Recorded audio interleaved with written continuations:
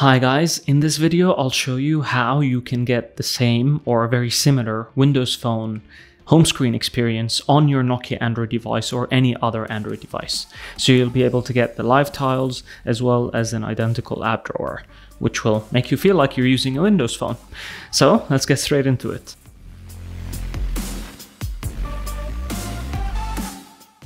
Okay, so this is pretty simple actually. All you need to do is you need to go to the Play Store and you need to look for launcher 10. I already have it installed, but you need to install it. And then after you install it, you can set it as your default home screen.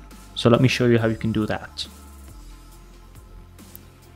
So you go to the settings, you go to apps and notifications, default apps,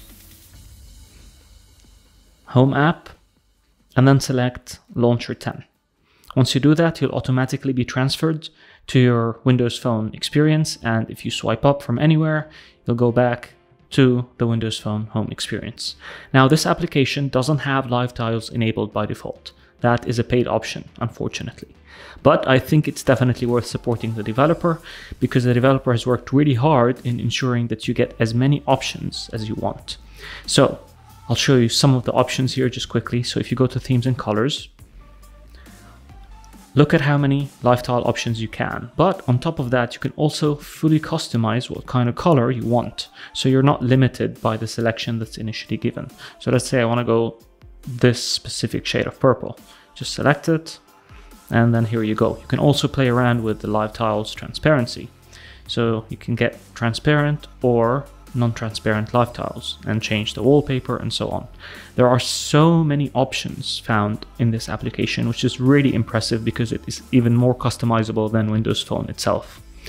So now I have my uh, pinky purplish live tiles. Look at how you can customize the icons themselves. So you can select the label color, you can select the icon design and icon shape, and you can change as well the dimensions of the tiles and it's customizable to your heart's content as you can see. So you're not limited by anything that was a limitation on Windows Phone originally. And that's really, really cool. And on top of that, look at the app drawer. So it's exactly as you remember from the Windows Phone days. You can select the letter and then go directly to it.